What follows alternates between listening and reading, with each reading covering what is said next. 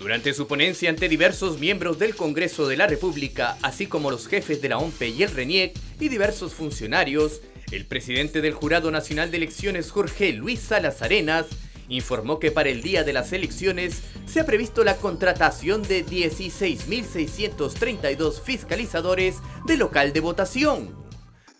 Para el 11 de abril, día de las elecciones, se ha previsto la contratación de 16.632 fiscalizadores de local de votación, que tiene que ver, eh, hay una relación directamente proporcional al número de mm, locales de votación que este, el doctor Corbeto ha dado cuenta. ¿no? Entonces, una dispersión de locales de votación de esa naturaleza da lugar también a la necesidad de mayor número de fiscalizadores para cumplir la labor que la ley le ha, y más que la ley solamente, la Constitución le ha otorgado al Jurado Nacional de Elecciones.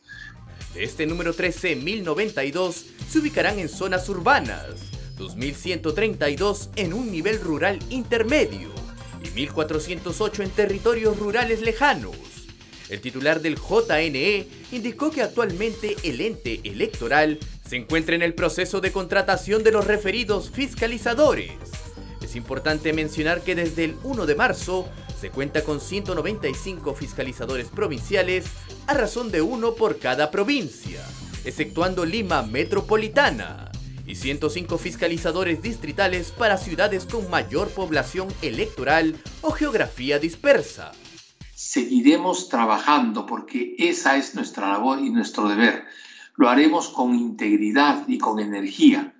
Y el 11 de abril tendremos elecciones y el país podrá celebrar la, el recambio de sus opciones de dirección democrática en el país.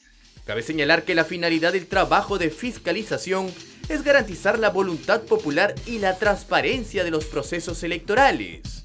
Este trabajo está a cargo de la Dirección Nacional de Fiscalización y Procesos Electorales del Jurado Nacional de Elecciones.